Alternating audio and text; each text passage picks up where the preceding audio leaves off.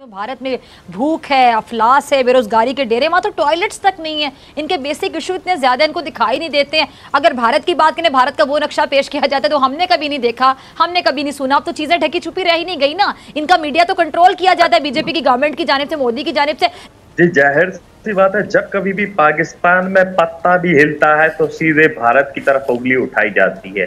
पाकिस्तान अपनी तरफ़ कभी भी नहीं देखता। एफ़ में ब्लैक लिस्टेड होने जा रहा है, उसकी कहीं कोई चिंता नहीं है, लेकिन मोदी जी और भारत अभी भी पाकिस्तान को दिखाई पड़ रहे हैं।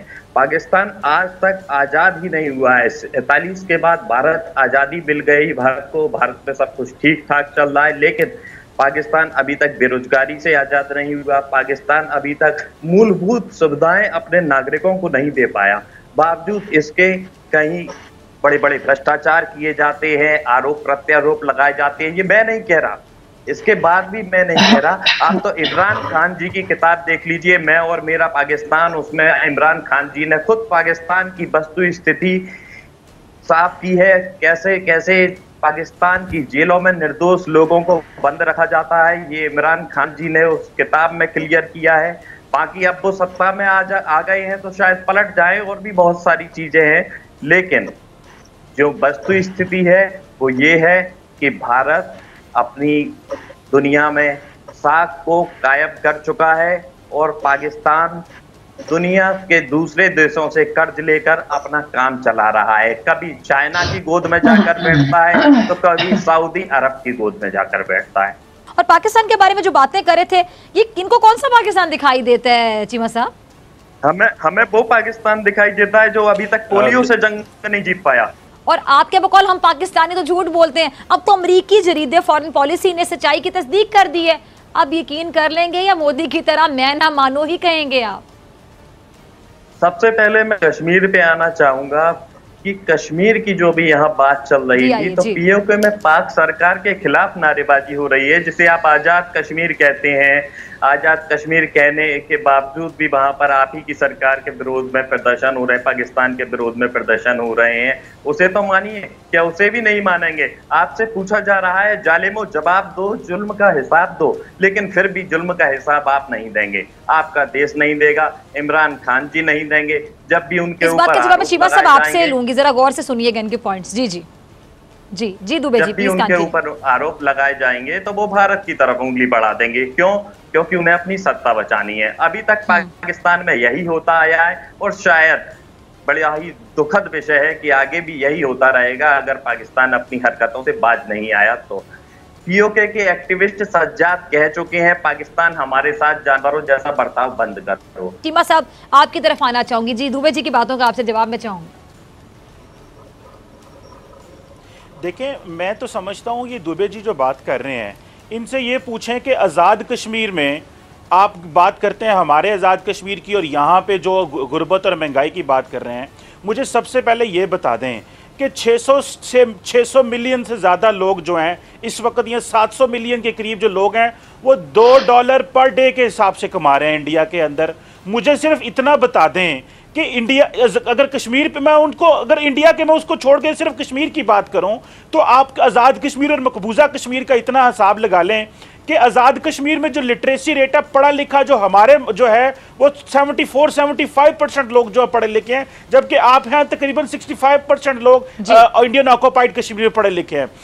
आज़ाद कश्मीर के अंदर फैसले आज़ाद कश्मीर का वज़ीर आज़म बैठ के करता है, जबकि आपके वहाँ प्रेसिडेंशियल रूल लगा हुआ है। मुझे यह बताएँ, भारत के अंदर इतनी स्टेट्स हैं, किस स्टेट ने पहले गवर्नर रूल लगाया और अभी प्रेसिडेंशियल रूल लगाया? ये दुनिया की कौन सी जमहूरियत है जो दिल्ली से बैठ के कश्मीर को डील कर रही है? हम तो इस्लामाबाद से बैठ के डील नहीं कर रहे। और हमारे आज़ाद कश्मीर के अंदर तकरीबन पचास से साठ हज़ार पाकिस्तानी फौजी बैठा हुआ है, जबकि आपके यहाँ सात लाख से ज़्यादा फौज बैठी हुई है। मुझे सिर्फ़ इतना बता दें फोर जी वहाँ पर इंटरनेट नहीं है। हमारे तो लोग इंटरनेट भी इंजॉय कर रहे हैं। मुझे इस चीज़ का बताएँ, आप हमारे साथ, हमारे कश्मीर का क्या मुकाबला कर सकते हैं?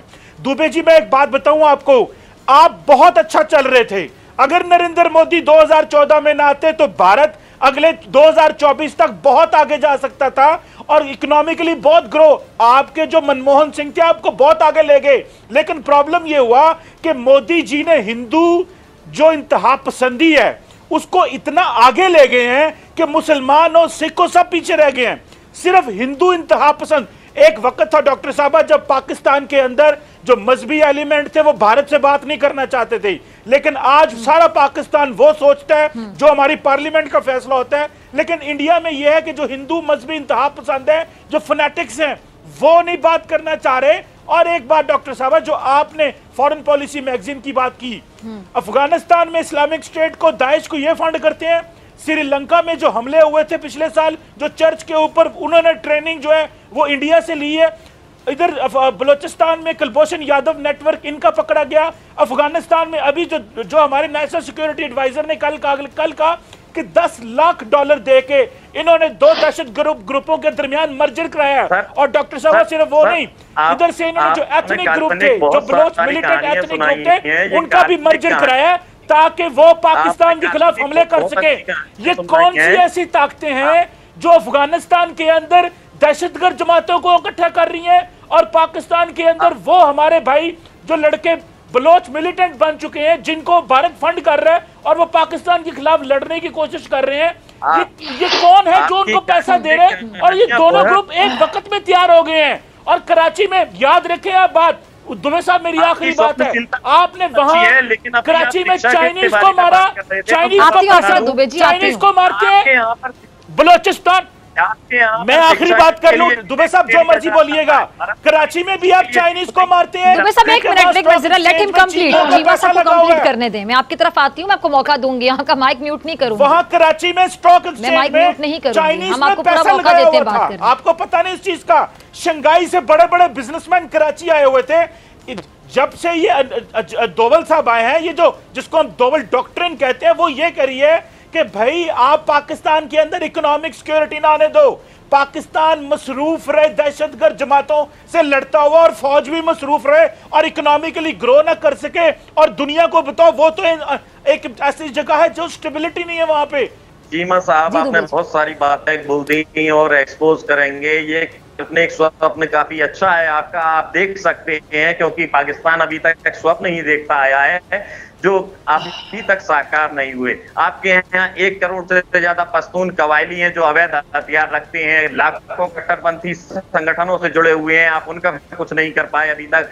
उन्हें नहीं सुधार पाए इमरान खान जो है आप उनको समर्थन करते हैं। गरीबी झेल रहे हैं बेचारे साक्षर नहीं है आप उन्हें साक्षर नहीं करना चाहते कि आप उनके हाथ में गन थमाना चाहते हैं उन्हें हथियार देना चाहते हैं। पीओके में बसे कवालियों को हथियारों में आपने होड़ लग, लगवा दी है। इसके अलावा जो है आप शर्म नहीं आती शर्म नहीं आती इमरान खान जी को। वो कहते हैं कि मुझे कवालियों से प्रेरणा मिलती है।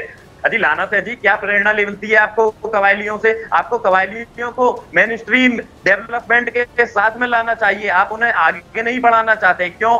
आप उनका इस्तेमाल करना चाहते हैं। कई सालों से इस्तेमाल करते आ रहे हैं। सत्ता के लिए इस्तेमाल करते आ रहे हैं। युद्ध विराम का हज़ारों बार उल्लंघन कर दिया। भारत ने कभी युद्ध विराम का उल्लंघन नहीं किया। लेकिन हाँ मुँह तोड़ जवाब ज़रूर दिया है। और इसी तरह मुँह तोड़ जवाब हमेशा मिलता रहेगा। आईएसआई की सह पर आप गुप्तचरी कराते हैं आप आतंकियों को पालते हैं पोसते हैं ऐसा नहीं चलेगा। ये भाड़े के आतंकियों का खेल अब खत्म हो चुका है। बहुत साल देख लिया भारत ने बहुत सब्र किया लेकिन अब भारत के सब्र का बाँध टूट चुका है। भारत अब सब्र नहीं रखेगा भारत ने सब्र किया कहा भारत? नहीं मैं क्या कह रहे हैं? ये भारत की बात कर रहे हैं? ये किस भारत का नक्शा खींच रहे हैं? मुझे समझ नहीं आ रही। नहीं जरा बताइएगा। क्या कह रहे हैं दुबे जी? नहीं देखिए ना दुबे जी को भी इस बात को समझना होगा कि ये भारत जिसकी आज ये बात कर रहे हैं, ये वो भारत नहीं है जो 2014 से पहले था कि चाहे कांग्रेस की गवर्नमेंट रही है या बीजेपी की गवर्नमेंट अटल बिहारी वाजपेयी जी के जो अंडर रही है। ये वो भारत नहीं है, भारत बहुत तब्दील हो गया है। और आप उसका अंदाज़ा इस बात से लगा सकते हैं कि अब हम टीवी चैनल्स पे बैठ के महजिब तरीके से बात भी नहीं कर सकते। एक दूसरे पे कीचड़ उछालना, मिट्टी उछालना या एक दूसरे के प्राइम मिनिस्टर के खिलाफ इस तरह बातें करना, ये कभी नहीं होता था। और ये इस बात की जमानत देता है कि हम, हमारी सियासत जो है कि वो कितनी नीचे घिर आई है कि अब हम बात भी नहीं कर पा रहे हैं। और हमारे जो रिश्ते थे और जो हमारे हर तरह के रिश्ते फोर्टी सेवन में जो ये पूरा एक सब कॉन्टिनेंट एक था, अब उसमें इतनी तलखियाँ, इतनी दूरियाँ और इतने दुश्मनियाँ पैदा हो गई हैं कि अब हम एक दूसरे से बात भी नहीं कर पा रहे और महजब तरीके से जो हमारे मसाइल हैं, उनको हम हल नहीं कर पा रहे हैं।